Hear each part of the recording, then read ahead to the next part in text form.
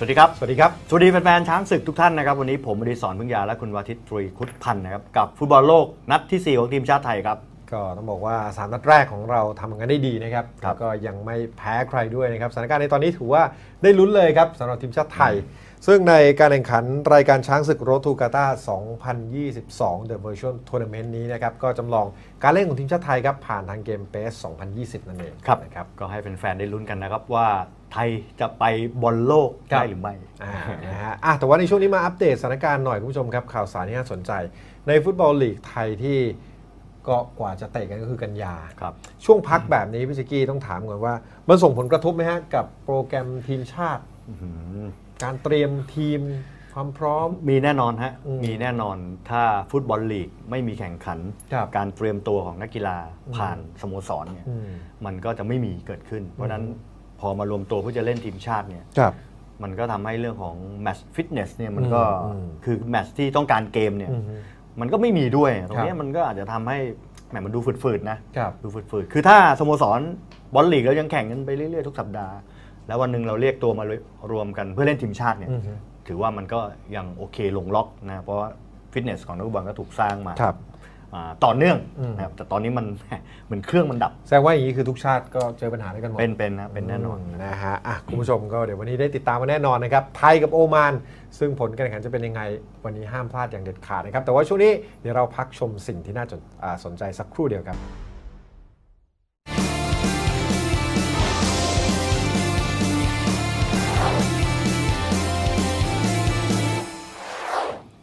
คุณผู้ชมครับ วันนี้เกมระหว่างทีมชาติไทยกับโอมานนี่รับรองว่าสนุกแน่นะคครัรับบแต่ว่าเดี๋ยวเราลองย้อนดูตารางคะแนนกันสักนิดนึงแล้วกันว่าสถานการณ์ในตอนนี้เป็นยังไงกันบ้าง 3 นัดเนี่ยไทยชนะ 1 เสมอ2ครับอืมก็คือมี 5 คะแนนนะครับอืมแล้วก็เกาะกลุ่มครับได้อยู่นะครับก็ทีมนำเป็นญี่ปุ่นออสใช่เตรครับเลียเพราะว่าที่ 1 ที่ 2เนี่ยไปฟุตบอลโลกอืมอัตโนมัติที่ 3 ของกลุ่มนะฮะซึ่งตอนเนี้ยอยู่ตำแหน่งของทีมชาติไทยเรามีโอกาสเนี่ยครับ ก็ยังได้สิทธิ์เพลย์ออฟอยู่ เพราะฉะนั้นเนี่ยมันก็ถือว่าเป็นเป็นไปตามเส้นทางอืมสู่กาตาร์ยังมีลุ้นครับยังมีลุ้นอยู่ครับลึกๆนะฮะอะคุณผู้ชมแล้วก็แน่นอนนะครับอ่าวันนี้เนี่ยเป็นเกมนัดทีสี่ 4 ของทีมชาติไทย ถ้าดูจาก ranking เนี่ยเราเป็นรองโอมานครับแต่พอดู head to head กลายเป็นเราทำได้ดีกว่าในช่วงหลังๆมา ก็อาจจะคือคือสถิติมันใกล้เคียงกันอืมมันก็ต่างกันไม่มากครับนะครับไม่ได้ไม่ได้ห่างกันเยอะนะครับอืมอาจจะเป็นว่าเราก็เจอกับพวกเขา ไม่ได้ค่อยบ่อยด้วย ครับถ้าดูจากตัวเลขนะครับอือฮึสิบครั้งเนี้ยเจอกับโอมานใช่ไหมฮะอืม เขาชนะเราสี่ เราชนะไป5เออใช่ไหมฮะก็มันก็เป็นจำนวนครั้งที่อาจจะเฉลี่ยแล้ว เจอกันปีละครั้งสองครับปีครั้งอะไรแบบนี้นะฮะแต่ถ้าย้อนไปครั้งล่าสุดที่ไทยชนะก็คือ 9 ปีที่แล้ว นั่นั่นนนะนั้นเป็นวินฟรีดเชฟเฟอร์นั่นนะฮะช่วงสิบปีแล้วนะเห็นไหมไปเจอโอมานเออแต่ก็โอมานก็จะเป็นทีมตะวันออกกลางครับซึ่งเราถามว่าเจอทีมตะวันออกกลางสไตล์อย่างโอมานเราเจอบ่อยอืมเพียงแต่ว่าเป็นจอร์แดนบ้างนะฮะเป็นทีมอื่นบ้างอืมอิหร่านอิรักอะไรก็ว่ากันไป จุดเด่นนะครัพวกนี้คือเร็วครับนะฮะคล่องทักษะดีคล่องนะครับอะเดี๋ยวเราไปดูบรรยากาศที่โอมานดีกว่าคุณผู้ชมฮะวันนี้ไอแอซิดรอคุณผู้ชมอยู่แล้วนะครับคุณสรัญยูนรากุลรัศมีไปติดตามกันครับ ความพร้อมทีมชาติไทยจากประเทศโอมานวันนี้ต้องบอกเลยครับว่านักเตะหลายรายเนี่ยมีอาการล้าจากการเยือนทีมชาติจีนครับโดยเฉพาะแข้งตัวหลักจากเจลีกทำให้กุนซือทีมชาติไทยเนี่ยต้องมีการ rotation ในหลายตำแหน่ง เริ่มจากผู้รักษาประตูครับใช้กวินธรรมสัจจานันท์ลงเฝ้าเสาแทน ส่วนแบ็คขวาใช้นิติพงษ์เสรานนท์ครับที่ได้กลับมาประจำการอีกครั้งหนึ่งคู่เซนเตอร์มานูเอลทอมเบียครับหายเจ็บกลับมายืนคู่กับพรรษาเหมวิบูลย์ส่วนทางด้านแบ็กซ้ายวันนี้เป็นสัสลักไหประโคนครับแทนที่ของธีราทรบุญมาทันที่ ลงกรำศึกหนักมาอย่างต่อเนื่องครับ มิดฟิลด์ตัวกลาง 3 คนวันนี้เป็นฐิติพันธ์พ่วงจันทร์จับคู่กับพิธิวัตต์สุขจิตธรรมกุล โดยมีศิวกรเตียตระกูลครับเป็นตัวรุกตรงกลางแทนที่ของชนาธิปสรงกระสินธ์ที่วันนี้ได้พักเช่นกัน ปีกขวาเป็นสุพนัทเหมือนตาด้านซ้ายเป็นแข้งหน้าใหม่ฟอร์มดีจาก SCG เมืองทองอย่างสหรัฐกัญญาโลดครับ หน้าเป้าวันนี้ธีรศิลป์ยังไม่หายเจ็บนะครับจึงเป็นอดิศักดิ์ไกรสอนลงทำหน้าที่เช่นเดิม โดยกุนซือทีมชาติไทยได้ให้เหตุผลการโรเตชันในนัดนี้ว่า เขาจำเป็นต้องเลือกนักเตะที่พร้อมที่สุดครับและก็ยังเชื่อมั่นว่านักเตะทุกคนที่ลงสนามจะสู้อย่างเต็มที่แน่นอน ส่วนหน้าสนามตอนนี้มีการตรวจคัดกรองโควิด -19 อย่างเข้มงวดครับมีแฟนบอลหลายคนไม่สามารถเข้าสนามได้เนื่องจากมีไข้เดี๋ยวผมต้องขอตัวรีบเข้าสนามก่อนครับ เพื่อลดความเสี่ยงจากผู้คนด้านนอก และนี่คือความพร้อมล่าสุดในวันนี้ครับ คุณอดิศรและคุณวาทิต อะนั่นก็เป็นบรรยากาศที่โอมานนะครับต้องบอกว่าก็ค่อนข้างคึกคักครับนะครับแล้วก็แน่นอนครับโอมานนัดนี้เล่นในบ้าน พวกเขาต้องชนะเราสถานเดียวเพราะว่าออกสตาร์ไม่ค่อยดีเท่าไหร่ ก็ถ้าดูฟอร์มของโอมานนะครับครับก็ต้องยอมรับว่าในการเล่นฟุตบอลโลกครั้งนี้เนี่ยพวกเขาดูจะติดติดขัดขัดๆครับถ้าผมดูรายชื่อแล้ว ก็มีพวกดาวรุ่งสอดแทรกขึ้นมาเหมือนกันนะครับแต่วันนี้ที่น่าสนใจจากก็คือทีมชาติไทยครับ ไม่มีนักเตะตัวหลักๆ โดยเฉพาะนักเตะที่มาจากเจลีกเลยครับ มีการพักตัวผู้เล่น ในมุมมองพี่แจ๊กกี้ครับพักหมดแบบนี้เนี่ยมัน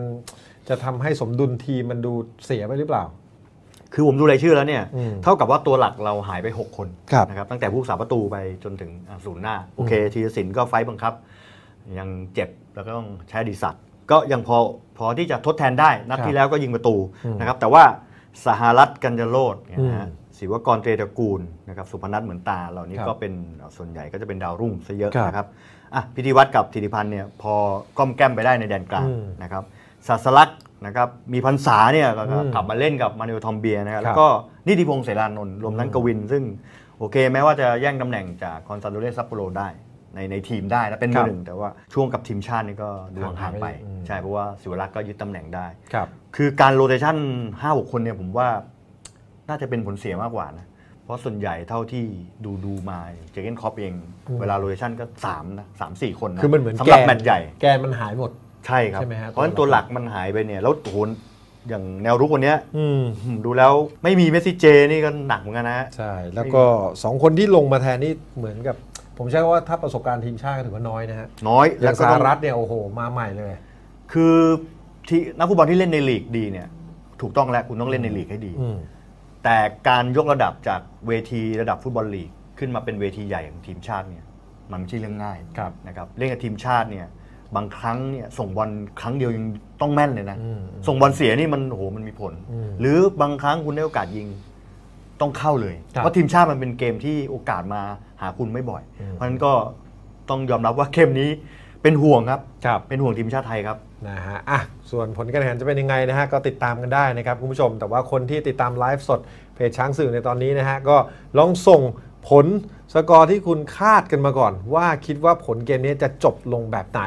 ซึ่งวันนี้เนี่ยนะครับคู่หนึ่งที่น่าสนใจนะครับก็มีบิ๊กแมชญี่ปุ่นเจอออสเตรเลียอืมคู่นี้อาจจะชิงอันดับหนึ่งได้เลยครับนะครับแล้วก็ทางด้านของซาอุดีอาระเบียพบกับจีนนะครับผลการแข่งขันทั้งหมดจะเป็นยังไง และทีมชาติไทยเจอโอมานจะเป็นอย่างไร ตอนนี้บรรยากาศที่สนามพร้อมอยู่แล้ว ไปติดตามเกมครึ่งแรกกันเลยครับ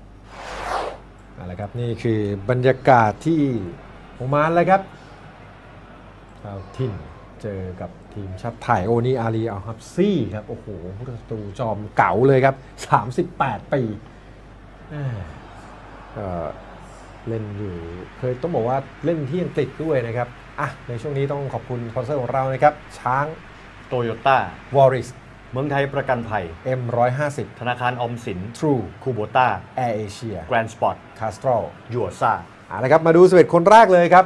โอมานครับผู้สัมตูก็อาริอัลฮับซี่ครับ แล้วก็มีทางด้านของสัตจูมานะครับคาลิดอัลบราคีนะครับโมฮัมเหม็ดอัลมาสลามี มีอาลีอับูซาดีครับฮาริบอัลซาดีครับอาเมดมูบารักซาลาอัลยายีนะครับแล้วก็มีจาเมลอัลยามาดีครับ ไรท์อิบราฮิมซาเล่ครับแล้วก็มุนเซอัลกาซานีครับส่วนทีมชาติไทยน่าสนใจเลยครับผู้สัมตูวันนี้ใช้กวิน แล้วก็หลังมีนิติพงศ์พันษาทอมเบียร์แล้วก็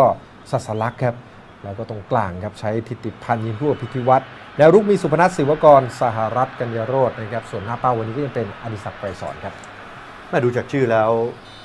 ว่าเป็นห่วงเกมรุกนะฮะครับไทยอะเกมเริ่มครับเจ้าบ้านโอมานชุดสีแดงนะครับ บอลสไตล์ตะวันออกกลางนะฮะบอลกับพื้นมีความคล่อง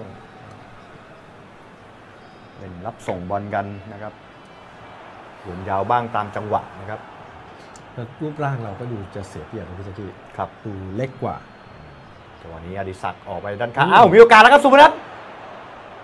อ้าวแม่ดูพักอกแล้วไม่สกัดจังหวะต้องเตะทิ้งออกไปนะครับอ่าเจ้าบ้านดูตื่นตื่นๆเหมือนกันนะครับ เขาออกสตาร์ทไม่ดีนะครับโอมานนี่เพิ่งมีแต้มเดียวแต่ถ้าดูจากผลงานเนี่ยครับเราก็มีโอกาสนะครับที่จะลุ้น 3 คะแนนอืมแม่แต่ว่าดูการจับตัวนี้ต้องยอมรับเหมือนกันนะฮะว่าสภาพทีมเราไม่พร้อมนะครับเออแต่ว่าโอกาสครึ่งแรกช่วงแรกครับ5นาทีแรกนี่อ้าวเสียบอลครับซาเล่ได้บอลเปิดยาวขึ้นมา เบิ้ลจังหวะนี้ไม่ถึงนะครับอืม ศาสลักษณ์ตัดบอลได้ศิวกรออกไปสุพนัทอื้อหือแหม่โดนพัวพันอยู่ครับอาบุไซดีนิติพงศ์นิติพงศ์ดูจังหวะแล้วเปิดเข้ามาข้างในสุพนัทโดนบีบสองคน โอ้โหโอมานแม่โอมานตั้งรับนะครับ บอลเป็นของทีมไทย พิธิวัตต์ให้อดิศักดิ์จ่ายช่องสวยมากครับลูกนี้เรียบร้อยครับ โอ้โห ทีมไทยครับ จนได้ครับ โอ้ดีครับในช่วงสิบนาทีแรกศิวกรนะครับ โอ้โห ต้องบอกว่าลูกนี้สอดมาสวยมากครับอ่าทีมชาติไทยครับนำไปแล้วครับ 1-0 โอ้โห นี่ถือว่าเป็นการออกสตาร์ทตัวจริงของศิวกรที่ทำได้อย่างยอดเยี่ยมนะครับ เดี๋ยวดูครับจังหวะขึ้นมาไม่กี่จังหวะของทีมชาติไทยครับนักเตะจากเชียงรายนะครับ ดูครับให้มาแล้วอดิศักดิ์โอ้โหอืมพลิกแล้วให้ครับยัดตรงกลางเลยครับมา โอ้อารีเอลฮับซี่ก็พยายามจะออกมาแล้วแต่ว่าออกมาช้าไปหน่อยครับ ทีนี้มุมมันกว้างครับเลือกเลยครับ แล้วยิงขวาด้วยครับโอ้โหเท้าไม่ถนัดหนึ่งศูนย์ครับ เหมือนเข้าไปแถวจุดโทษแล้วจ่อยิงเลยนะฮะครับทางด้านศิวกรเตียตระกูลนะครับฟอร์มร้อนแรงต่อเนื่องจากสโมสรนะครับแชมป์ไทยลีกกับเชียงรายอ้าวเจ้าบ้านโดนไปก่อนแม่ทีมไทยก็ เป็นห่วงเรื่องเกมรุกครับ แต่ว่าก็ประสานงานกันได้ดีนะฮะอดิศักดิ์กับศิวกรนะครับ แต่ให้ต้องให้ต่อเนื่องนะครับ ตอนนี้พอขึ้นนำไปแล้ว โอมานได้โอกาสบุกครับคาโน่เปิดไปสุพนัทลงมาช่วยเกมรับครับมานูเอลทอมเบียโดน press อยู่ครับทอมเบียร์พิธิวัตต์เราเล่นติดชิ่งอยู่ครับ ทอมเบียร์พิธิพงศ์ศุภณัฏฐ์ เข้ากลางสวยครับพิธิวัตต์อะลูกโด่งนี่โดนชิงจังหวะมงได้ครับ มุสลามีโอ้ดูเหมือนโอมานนี่เขาตั้งเกมไม่ติดเหมือนกันนะครับในช่วงแรกเกือบเกือบ15นาทีแรกทีมไทยนี่ทิ้งอดิศักดิ์ไว้คนเดียวข้างหน้านะครับ เราตั้งกระบวนรับอยู่ครับแน่นไปหมดมาเนลทอมเบียร์พันษาครับสัสลัก ดูครับ เปิดยาวแม่เราลูกโด่งเราไม่ค่อยแม่นนะครับเอาวแม่สารัตกันยโรดเสียบอลง่ายนี่แหละครับแม่ไม่ง่ายอะเล่นทีมชาติส่งบอลเสียครับ แต่เราลุมแย่งกันได้ครับศิวกรให้เอาละครับ อดิศักดิ์เกมทางด้านข้างเราด้านซ้ายนี่ขึ้นไม่ได้เลยนะครับ หลังจากที่นำไปแล้วโอ้มาเริ่มที่จะครองบอลได้มากขึ้นแล้วนะครับยังไม่ดียาย่าเอาละครับชูมา ชูมาเปิดเข้าไปมงสกัดออกมาครับทอมเบียร์บอลสองครับไซดี้ออกมาที่ชูมาครับชูมาหยอดไปอีกครั้งหนึ่งเอ้าสกัดบอลเราจะโดนไหมลูกนี้เอ้าเรียบร้อยแน่ โอ้ยโอ้โหปัดได้ครับโอ้โหกวินเซฟครับโอ้โหโดนจ่อยิงอีกแล้วครับโอ้เกมรับไทยดูครับแม่เนี่ยครับ ไปเสียจังหวะเสียสมาธิแล้วทอมเบียร์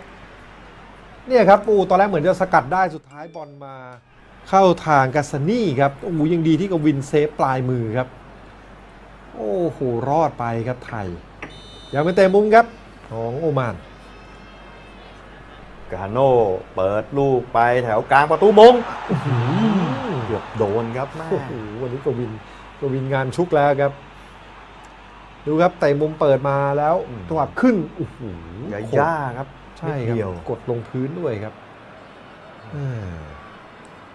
โอ้โหนี่ถือว่าเตือนแล้วนะครับทีมไทยโอ้มานก็ถือว่าค่อยๆบุกค่อยๆสร้างเกมของตัวเองแล้วก็มีโอกาสลุ้นต้องบอกว่าลุ้นตีเสมอเลยนะแต่โอกาสของพวกเขานี่โอ้แล้วดูเขาเพรสสูงเลยครับเนี่ยครับบีบบีบไม่ให้ไทยเล่นง่ายเลยครับ เราหลายคนหายไปเลยนะครับอ่าครับตอนนี้บอลอยู่กับบูซาดีเห็นความแน่นอนครับบูซาลามีซาดีเปิดยาว นิติพงศ์ถึงครับ เอ้าอุ้ยจ่ายบอลนี้แม่ดูครับหน้าหวัดเสียวครับ พันษาอย่างเอาตัวรอดได้เอ้าเอ้า โอ้ยแม่พันษาโอ้โหโอ้แต่บอลให้เพื่อนไม่ตรงครับพันษาอืมอ้าวเปลี่ยนมายาวครับ สารัตมงคืนสัสลักเนี่ยครับพอเล่นบอลยาวแล้วมันไม่แม่นครับจูมาได้บอลโอ้บอลเป็นของ ทีมเจ้าบ้านอย่างสิ้นเชิงนะตอนนี้ครับอ้าวหลุดเดียวเข้ามาซาเล่ดีดลูกนี้อุ้ยขวางเอาไว้ได้ครับโอ้โหน่าจะเป็นพันษาเลยครับ ดูครับจังหวะ ขึ้นทางซ้าย โอ้นี่วันนี้ไทยเกมรับดูจะมีช่องโหว่เยอะครับ โอ้โหยังดีที่พันษามันบล็อกไว้ได้ เห็นได้เต็มมุมครับโอมาน คาโน่ครับ ตัวเตะลูกนิ่ง เล่นสั้นครับ เปิดติดบล็อก โดนโดนกดดันหนักเลยครับ อีกครั้งครับเตะมุมครับคาโน่โอ้เปิดเข้ามากวินชกออกมาได้ บอลสองยาเมดี้โอ้เป็นของโอมานอีกแล้วครับบุษดีทำชิงบุสลามียาย่าเข้ามาข้างในเขตโทษพลิก ขวาเติม โอ้ลูกนี้ เอ่อเหลี่ยมมันยากหน่อยครับทางด้านของกาซานี่ดูครับ ให้มาเจอสองนะครับโอ้โหแล้วพลิกฝืนครับครับประกบอยู่สองคนแล้วก็ครับตัดสินใจยิงครับอืมแต่ตอนนี้เกมมันตอนนี้เราคอนโทรลไม่ได้เลยครับครับไทยจากได้ประตูขึ้นนำนี่อดิศักดิ์ไม่เจอบอลเลยครับสารัตศิวกรนะครับหายไปเลยครับ เกมลุกสุพนัทบอลเป็นของโอมานครับ มาอีกแล้วครับซาเล่ยาย่าพลิก ยังแย่งได้ครับทอมเบียร์เอาละครับสุพนัทให้ จะหลุดไหมครับ อดิศักดิ์คนเดียวโดดๆเลยครับนั่นไปที่มุมทองเอ้าอดิศักดิ์สวยครับ เปิดเข้ามาสกัดออกไปได้นะครับคาลิดอัลบากี้พิธิวัตรได้บอลมาครับทีมไทยได้โอกาสของบอลมากครับนิติพงศ์แม่เอาครับซี่เพิ่งจะมีโอกาสนะครับครับ หลังจากเสียประตูให้ทีมไทยนะครับ คือเราไปเล่นบอลโยนนี่ต้องบอกว่าเสียเปรียบมากนะครับอตอนนี้ทิติพันธ์สารัตศิวกร อดิศักดิ์สวยครับพิธิวัตรเอาครับ เราทำได้ดี เอาครับ เข้าเขตโทษแล้ว อดิศักดิ์ลุดก็ไปยิง โอ้โหครับสิซ้ำไม่ไม่ยิงครับสุพนัทโอ้โห ไม่ซ้ำครับ เสียบอลครับ ไม่ได้ครับกัสซานีเอาจะโดนสวนกลับแล้วซาเล่ หูไซดี้อ่าย้อนหลังมาสร้างเกมกันใหม่ โอ้โห เมื่อสักครู่ น่าจะได้นำสองศูนย์ครับทีมไทใช่ย ครับ คือสุพนัทจังหวะจะซ้ำไม่ยิงนะครับอืม อ่าเลี้ยงวนกลับมา ถ้าวิ่งมาใส่เลยนี่ได้ลุ้ครันบ กันนะครับ โอ้ท้ายครึ่งแรกแล้วนะครับ พันษาทีมไทยดึงช้าครับสลักสหรัฐ โยนแม่โยนยาวนี่เสียเปรียบแล้วบอลจังหวะสองย่าย่าไปแล้วครับ ตอนนี้โอมานออกมาขวาสุด เข้าเขตโทษแล้ว ยังไม่ดียังไม่ดีไปได้ยังไม่ดีให้ โอ้โหการมาแล้วครับยิงโอ้โห นี่แหละครับโดนจนได้ครับทีมไทย โอ้โอ้แล้วมูเซนกัสซานีครั้งนี้เขาเอาจนได้ครับกาซานี่ได้โอกาสสองสาครั้งครับเฉียวไปเฉียวมาสุดท้าย แนวรับของทีมชาติไทยครับ โดนเจาะจนได้ครับอื้อหือเดี๋ยวดูภาพช้าครับจังหวะขึ้นมาครับ ตรงกลางครับ เยาย่าให้ออกไปทางขวาที่ยามาดีแล้วยามาดีจะตัดเข้ามาดูครับ โอ้โหทอมเบียร์ประกบห่างครับลูกนี้จับแล้วยิงเลยนะอืมเนี่ยครับพอประกบห่าง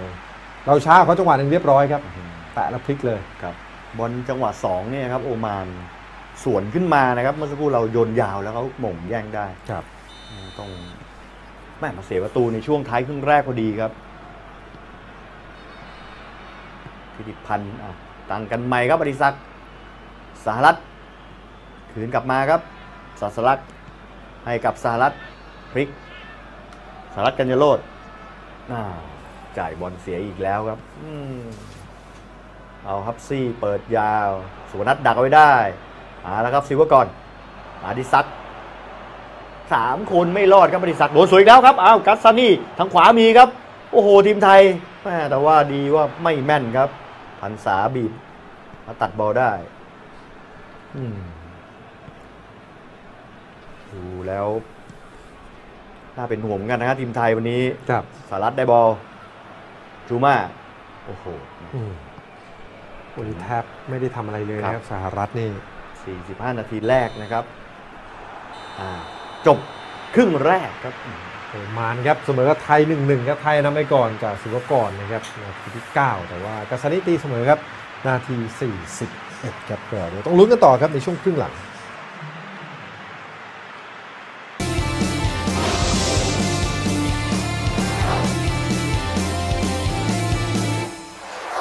โอ้โห ต้องบอกเป็นครึ่งแรกที่โอเคสกอร์ไม่เสียเปรียบครับแต่รูปแบบการเล่นนี่เป็นรองเยอะนะฮะจริงๆครับดูจากโอมานนะครับ ก็ไม่ได้เหนือกว่าเรามากครับนะครับอาอาจจะครองบอลมากกว่าก็จริงอืม นะครับแต่ว่าวันนี้ต้องยอมรับว่าสภาพทีมของเราเนี่ยมาตรฐานของผู้เล่น 5-6 คน แตกต่างกันเยอะนะฮะใช่ครับ อืม คือถ้าเรามีชุดตัวหลักๆนะครับ ครับ มันก็น่าจะทำให้การเล่นเกมรุกของเราเนี่ยดูกดดันมากขึ้นนะผมอืม ผมมองแบบนี้นะ เพราะว่าครึ่งแรกเราโดยเฉพาะแนวรุกเราแทบไม่มีโอกาส ครับนะครับอะเดี๋ยวเราไปย้อนดูไฮไลท์เกมการแข่งขันในครึ่งแรกกันครับ นี่ครับเกมครึ่งแรกเนี่ยจังหวะที่ดูครับเราได้ประตูขึ้นนำอดิศักดิ์พลิกแล้วให้มาศิวกรครับหนึ่งศูนย์เลยครับตั้งแต่นาทีที่ 9 ถือว่าออกสตาร์ทได้ดี แต่ว่าพอหลังจากที่เราได้ประตูไปแล้วหลังจากนั้นมันหนังคนละม้วนเลยครับครับโอมานครองบอลได้ดีกว่าเยอะเลย จริงๆเนี่ยความผิดพลาดของไทยมีหลายจังหวะนะครับที่โอกาสของกัสซานี่ครับแต่ครับต้องชมกวินครับส่วนหนึ่งพรรษากับมานูเอลทอมเบียก็ ไม่ค่อยได้ยืนด้วยกันในอืมทีมชาตินะครับ โอ้ นี่เป็นอีกหนึ่งอ่าครั้งครับ ลูกหมงครับยาย่าเฉียวเสาออกไปครับ คือเขามาทั้งลูกโด่ง ลูกสั้นนะครับ มาครบเลยครับครับไทยพยายามเนี่ยครับ มีโอกาสจะ 2-0 ครับแต่จังหวะนี้หลุดไปแล้วอื้อหือยิงไปตรงตัว ใช่ครับเอาคือพับซี่ยิงอะมันไม่หนีมือเลยครับครับ พอทำเขาไม่ได้ทีนี้โอ้โหโดนกลับมาครับนาที 41 ดูครับยามาดีครับตัดมาแล้ว โอ้โหกาซานี่ครั้งนี้เอาได้ครับหนึ่งหนึ่งเลยครับครับแม่ลูกนี้ก็เป็นจังหวะที่เขาทำดีด้วยนะครับครับสถิติในครึ่งแรกเนี่ยไทยครองบอลได้เยอะกว่าด้วยซ้ำไป แต่ว่าดูโอกาสของโอมาน 5 ครั้งครับเขากรอบ 2 ส่วนไทยเนี่ยสครั้งเขากรอบ2นะครับแหม่ดูแล้วครึ่งหลังน่าสนใจเลยครับ โอมานจะมาเปิดเกมรุกมากขึ้นขนาดไหน ก็ดูจากตรงนี้พิจักกี้ครับจุครัดบเปลี่ยน ถ้ามองว่าลูกของอดิศักดิ์หลุดไปถ้าทำได้ 2-0 น่าจะเกมไม่น่าเป็นแบบนี้ไหมฮะใช่ครับก็เป็นโอกาสที่ 2 ในครับครึ่งแรกนะครับเรามีโอกาสครั้งแรกก็ยิงเข้าอืมนะครับพอครั้งที่2เนี่ยมันทำไม่ได้นะครับก็โอเคตรงนั้นก็ก็ส่วนหนึ่ง แต่ผมมองว่าณตอนนี้โอมานน่ะไม่กลัวไทยแล้วครับเพราะว่าเกมลุกของเราเนี่ยสามแผงลุกนะครับศิวกรสหรัฐรวมทั้งสุพนัทเนี่ยมันไม่ค่อยได้ประสานงานครับอดิศักดิ์ก็อยู่คนเดียว ก็เท่ากับว่า 4 คนของเราไม่ได้มีส่วนกับเกมลุกเลยอืมอันเนี้ยเป็นสิ่งที่เหมือนกับพอเรารุกไม่ได้ ตอนเนี้ยเราจะถูกเกมของโอมานเนี่ยคุมไว้ได้หมดอืมคือเหมือนกับเขาตัดเกมลุกเราไปแล้วครับเรียบร้อยแล้ว ตอนเนี้ยเท่ากับเราจะโดนบีบให้รับอืมฮึมันเสี่ยงที่จะเสียประตูเหมือนกันนะ เพราะว่าวันนี้แผงหลังเองก็ตาม ครับ คู่กองกลางก็มัน เนี่ยชุดเป็นชุดที่เราไม่ไม่ค่อยได้เล่นด้วยกัน คือพอไม่ใช่ตัวหลักใช่พอโดนทดสอบเยอะโอกาสพลาดก็เยอะขึ้น สูงขึ้นนะครันะบเพราะฉะนั้นเนี่ยตรงรูปเกมแบบเนี้ยเนี่ยน่าเป็นห่วงครับน่าเป็นห่วงจริง เดี๋ยวต้องดูว่าครึ่งหลังจะมีการเปลี่ยนแปลงตัวผู้เล่นหรือเปล่าสำหครัรับบ ทีมชาติไทยนะครับ แต่ว่าตอนนี้บรรยากาศที่สนามพร้อมแล้วนะครับ กับเกมครึ่งหลังเดี๋ยวพาคุณผู้ชมไปติดตามครับ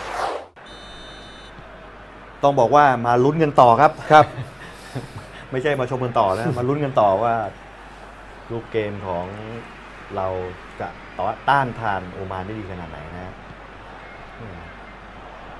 เดี๋ยวนี้เขาแม่นด้วยนะฮะอืมโอ้โห นี่เปิดฉากมาเอ้าแม่กัสซานี่ไปติดทอมเบียร์ครับเกือบโดนแล้วครับปันษา แล้วพอสวนกลับเรามีผู้เล่นอยู่ในแดนโอมานแค่คนเดียวครับดูดิสักดูฮะ คือแล้วตัวที่จะครองบอลตัวที่เก็บบอลได้ดีมันไม่มีนะครับใช่ครับ ชนะทิพย์ในยวันนี้ก็ไม่ได้เล่น อันนี้ก็ต้องยอมรับด้วยส่วนหนึ่งนะครับ ว่าเราก็ไม่ได้อยากเปรียบเทียบว่า คนที่มาแทนดูครับดรอปลงไปหรือดูด้อยกว่ากลุ่มเดิมของชนะทิพย์นะฮะหรือว่าสุภโชคเองก็ตามนะสุพนัทพิธิวัตรเอาละครับ อดิศักดิ์เอ้ามีโอกาสครับ ยิงโอ้โหแม่โอกาสมีไม่เยอะแต่ต้องต้องได้ครับแบบนี้แต่มันไม่ได้วันนี้เป็นครั้งที่สองแล้วนะครับดิศักดิ์ดูครับบางสวยบางแตะนี้โอ้โหหัก ข้อไม่พอครับอ่าใช้โอกาสเปลืองจริงๆฮะอดิศักดิ์อืมจริงๆครับคมนี่สามครั้งครับเขาได้นี่ต้องเป็นสามศูนย์แล้วนะฮะอืมต้องเป็นสามหนึ่งแล้วถึงตรงนี้นะฮะอื้อหือครับไบกี้ครับ โอมานก็เดินเกมขึ้นมาอ่าเราก็ดรอปลงไปในแดนตัวเองครับอืมอ้าวนี่ บอลจังหวะสองมาอีกครั้งหนึ่งครับสายเล่ออกมาซ้ายสุดครับบุษดีเข้าเขตโทษแล้วโดนพัวพันนะครับ โดยนิติพงศ์บุษดีบ้านเกมอยู่ครับยาย่าซาเล่คาโนโอ้โหบอลอยู่กับเท้าของโอมานะตอนนี้ เราแย่งคืนไม่ได้เลยครับซาเล่พลิกยาย่าอู่ทำชิ่งนี่แหละครับพันษาสวนกับทีมไทย สวนไม่ได้ คือตอนนี้เนี่ยต้องบอกว่าไทยเรานี่เกมนี้นี่ดูแล้วเหนื่อยแน่ครับ ดูครับดูครับเขาเพรสซิ่งตลอด แก้ได้นะครับสารัตอยู่ริมเส้นโดนจี้เข้ามาเอาโยนยาวครับ โยนยาวเนี่ยครับโยนยาวเราไม่ได้บอลเลยครับครัจับงหวะโยนยาวอ่าแย่งได้ครับธิติพันธ์เอาละครับอ่า เรารีบเล่น เอานี่ก็รีบเหมือนกันครับโอมานแหมผัดกันเสียบอลอ่าช่วง 15 ทีของครึ่งหลังเนี่ยครับของครึ่งหลังยังถือว่าใกล้เคียงครับ เรามีโอกาสได้ดีด้วย สารัตศิวกรเอาละครับแม่ไม่แม่นครับไซดี้ไซดี้เปลี่ยนมาเร็ว เอาบอลสวนกลับของโอมานแม่โอมานก็ไม่แม่นเหมือนกันครับศิวกรศิวกรโดน2ต่อ1อ้าวเสียบอลครับซาลิมีกาสานี่คืนซาดี้ครับ ไปทางขวา โอ้โห มีที่ว่างครับ ยาเมดี้แบ็กเติมแล้วครับชูมาชูมาเปิดเข้ามามงอุ้ยอุ้ยปัดได้ครับกวิน นิติพงษ์เตะทิ้งออกมาศิวกรอ่าสารัตอยู่คนเดียวครับอดิศักดิ์เราแม่เติมไม่ทันครับโมพลาดอีกแล้วครับ วันนี้พลาดเยอะครับบูไซดี้กับซาเล่เล่นกันอยู่ครับ ไปแล้วครับ ซาเล่บอลเป็นของกัสซานี กาโน่เข้าเขตโทษเตะสกัดมาบูซาดี้หนุนไปอีกครั้งครับ โอ้โห ตอนนี้บอลเป็นของโอมานอย่างสิ้นเชิงยาเบดี้กาโน่ซาเล่ครับ กดทีมไทยไว้อยู่ตรงนี้ครับหาช่องอยู่ครับอ่าซาเล่เอาแล้วครับยาเมดี้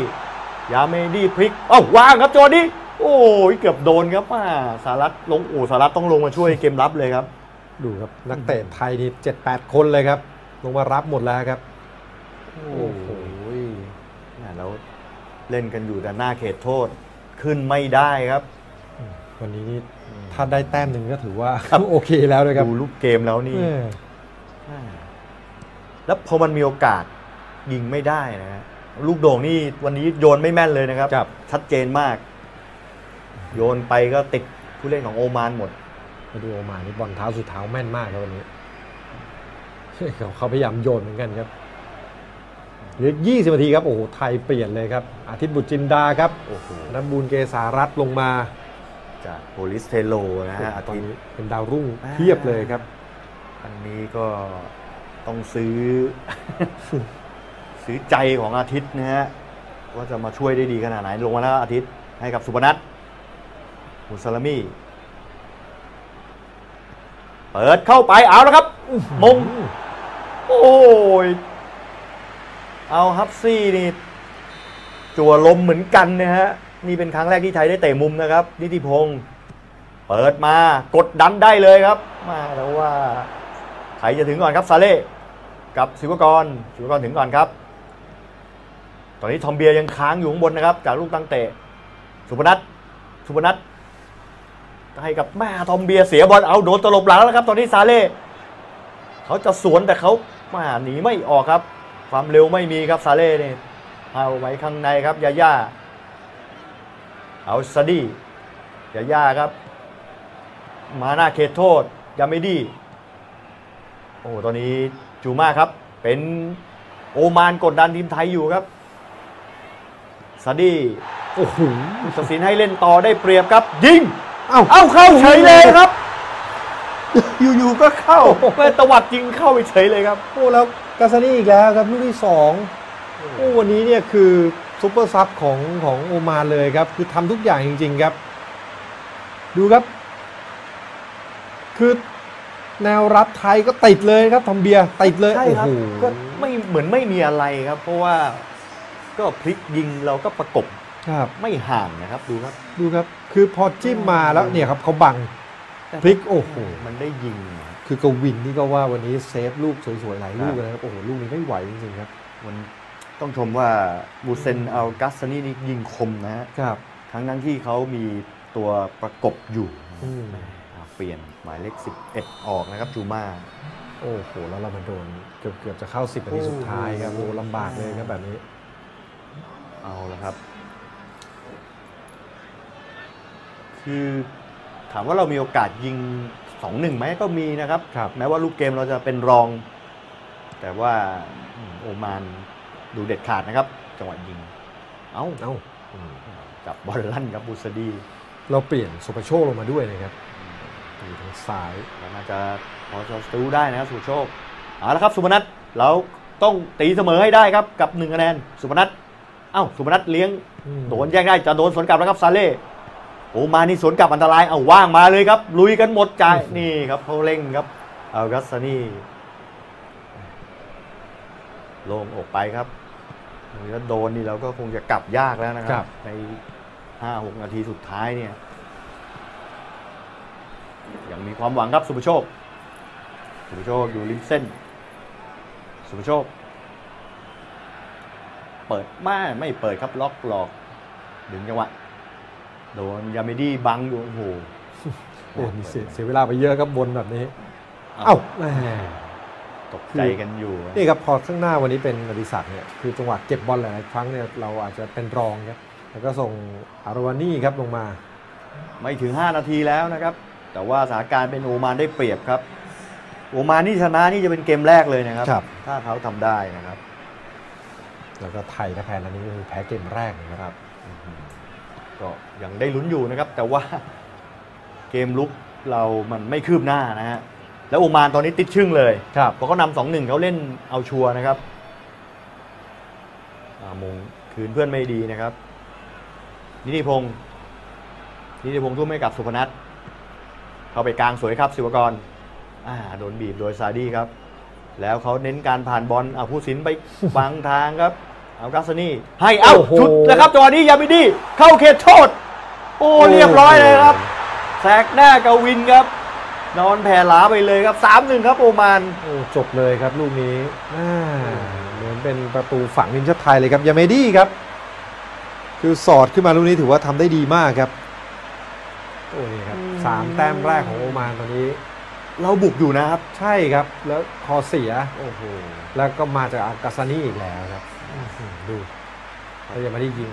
กอดยิงไม่ได้หนีมือแต่ว่ามันล่อเป้าเลยคแรรับงครับ ใช่ครับ เนี่ยครับพอเราเสียบอลภาษาโค้ดบอกทานซิชั่นของการลุกเราเสียไปนะอืมพอนั่นก็โดนเขาลุกกลับมา โอ้โหเปไม่ลี่อยยานกเกม กลับไปเนี่ยอาจจะต้องไปนั่งคิดนะครับ การโรเตทตัวผู้เล่นที่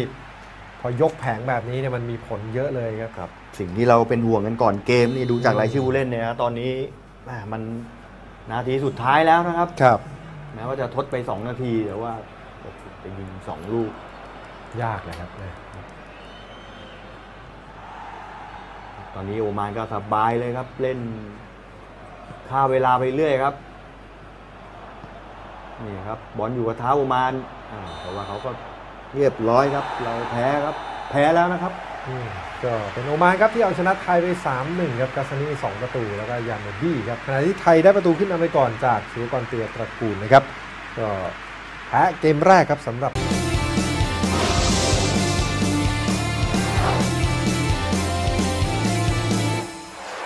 ก็เป็นความพ่ายแพ้เกมแรกของทีมชาติไทยแต่ต้องบอกว่านัดนี้เราสู้ไม่ได้จริง ครับๆอืมแม่ก็จริง ๆ ถ้าดูตัวผู้เล่นดูวิธีการเล่นครับ มันก็อาจจะมีความต่างกันนะครับคือโอมานเขาเล่น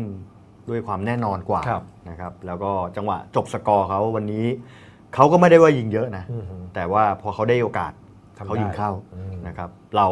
ก็มีโอกาสเหมือนกัน ถึงแม้เราจะทำเกมได้น้อย ครับ แต่เราทำไม่ได้อืมนะครับ นะครับอะเดี๋ยวพาคุณผู้ชมไปติดตามไฮไลท์เกมการแข่งขันในครึ่งหลังกันครับนี่ครับ อันนี้เป็นตั้งแต่ประตูแรกเลยนะครับที่เราได้ครับจากศิวกรเตียตระกูลเลยครับครับตั้งแต่นาทีที่ 9 คือเราออกสตาร์ทมาดี ซึ่งอะตอนนั้นนี่ก็คิดว่าเกมนี้ก็น่าจะได้ลุ้นกันยาวๆเลยครับก็เล่นกัน 3 จังหวะครันะบฮะแล้วนี่ก็ลุยขึ้นมาอดิศักดิ์คนนี้แหมดูจังหวะสุดท้ายครับดีไม่คมเท่าไหร่นะอืมแล้วพอทำก็ไม่ได้ครับนาที41 ยาเมดี้ครับให้มาโอ้โหที่กาซานี่นี่คือแหม่ตัวต้องเปลี่ยนเกมชมจฮะริงๆครับมูเซนอัลกาซานี่นี่อืมคือบังบอลดีมาก จังหวะยิงนะครับ จังหวะบางบอลเมื่อสักครู่คครัรับบนี่เป็นอีกครั้งที่อดิศักดิ์น่าจะยิง แล้วแม่เปลี่ยนเป็นประตูได้ครับโอ้ยิงแต่ไปเฉียวไหนเสาไม่อีกรู้นะอดิศักดิ์แล้วก็ดูครับจังหวะนาที 78ผู้สินหน้าให้เป็นลูกได้เปรียบเล่นต่อแล้วดูครับโอ้โหกาซานี่อันนี้แต่คืออันนี้เราก็พูดไม่ไม่ได้ไม่ออกเหมือนกันนะว่าจะแหม คือมันก็โทษใครยากนะใช่เพาะครับเขาทำได้ดี คือพอเขาพลิกแล้วเขายิงเข้านะฮะ ดูเขาประกบก็ประกบติดเลยนะฮะโมเนลทอมเบียแม่แต่เนี่ยครับเสี้ยววินาทีเองครับ ครับ พอ2 1แล้ว ไทยก็พยายามบุกหนักแล้วครับแล้วอันนี้โดนโต้หลังเลร้อยยครับ ครับ ยาเมดี้ครับหลุดมาแล้วก็ยิงล่อเป้าแบบนี้ครับ3 1แหมหลาย ๆ ครั้งที่พอเราจะเอาประตูคืนนะฮะเราก็จะโดนสวนกลับแล้วเสียประตูแบบนี้ สถิตินี่ไทยครองบอลได้ดีกว่าแต่ดูโอกาสครับโอมานนี่9ครั้งครับ ไทย 3 ครั้งเท่านั้นและสุดท้าย ผลก็เป็นโอมานที่เก็บ 3 แต้มแรกของพวกเขาได้ แล้วก็ทีมชาติไทยครับ แพ้นัดแรกไปแล้วนะครับและสำหรับ M150 รางวัลนักเตะพลังฮึดสู้ Man of the Match ในวันนี้ก็เป็นศิวกรเตียตระกูลเลยครับทำหนึ่งประตูให้กับทีมชาติไทยครับ ก็สถานการณ์ในตอนนี้ต้องบอกว่าตารางคะแนนนี่ มันอาจจะเป็นรองนะครับ เพราะว่าญี่ปุ่นกับออสเตรเลียที่แข่งขันไป โอ้แต่ก็ถือว่าเป็นเรื่องที่ดีที่ญี่ปุ่นนี่เก็บชัยชนะเหนือออสเตรเลียได้ครับตัดแต้มกันนะคครัรับบนะครับส่วนโอมานก็ถือว่ากลับมามีลุ้นอีกครั้งหนึ่งกับชัยชนะในนัดนี้นะครับไทยก็ยังอยู่ที่ 3 ของกลุ่มเหมือนเดิมนะครับ ก็เกมนี้กาซานี่น่าจะเป็นตัวทีเด็ดที่สุดครับนะฮะวันนี้ความแตกต่างก็คือว่าจังหวะจบสกอร์อืมนะครับทางด้านโอมานได้โอกาสแล้วยิงเข้าครับนะครับได้โอกาสแล้วยิงเข้า ขณะที่เรามีโอกาสเรา ทำไม่ได้ แต่ว่ารูปเกมต้องก็ต้องยอมรับว่าโดยภาพรวมอืมนะครับวิธีการเล่นนักเตะชุดนี้ครับอเทียบกับชุดที่ผ่านมาสามนัดแรกเนี่ยมันก็ต่างกันอยู่แล้วอืมนะครับนะครับอะก็นี่แหละครับคุณผู้ชมการพ่ายแพ้นัดแรกของทีมชาติไทย ส่วนผลการแข่งขันในคู่อื่นนะครับญี่ปุ่นก็ชนะออสเตรเลีย 3-2 นะครับแล้วก็อีกคู่หนึ่งซาอุดิอาระเบียก็ชนะจีนอืม2-1ทำให้ตอนนี้ญี่ปุ่นเป็นที่1นะครับมี 10 แต้มครับนะครับขณะที่ออสเตรเลียมี 7 แต้มอืมไทยเนี่ยเราตกมาอยู่ที่ 4 แล้วครับนะ ฮะอ่ามี5 คะแนนโอมานอืมนะครับก็เป็นกลุ่มที่ต้องลุ้นกันอยู่นะยังยังได้ลุ้นอยู่ครับมันเพิ่งนะครับ ครึ่งทาง ส่วนวันอังคารที่ 12 พฤษภาคมนะครับจะกลับมาติดตามเกมของทีมชาติไทยกันต่อนะครับ โดยไทยเนี่ยจะเปิดบ้านพบญี่ปุ่น โอ้โห พลาดไม่ได้ด้วยประการทั้งปวงคุณผู้ชมครับ ครับ เกมนี้ต้องบอกว่าถ้าเราชนะโอกาสในการเข้ารอบของเรายังเปิดกว้าง ครับแต่ถ้าญี่ปุ่นชนะนี่โอกาสของญี่ปุ่นในการเข้ารอบนี่แทบจะสบายๆเลยครันะบ นะครับก็คุณผู้ชมก็รอ 19 แบบนี้ คุณผู้ชมก็ดูแลสุขภาพกันด้วยนะครับ ออกไปไหนก็ใส่แมสกลับมาล้างมือด้วยสบู่ด้วยนะคครัรับบผมเรายังต้องระวังตัวกันอยู่นะคครัรับบยังไงก็แล้วแต่นะครับกาดจะตกใช่แล้วนะครับอะวันนี้เวลาหมดแล้วเราส่งคนลาไปก่อนเจอกันใหม่วันอังคารหน้า สวัสดีครับ สวัสดีครับ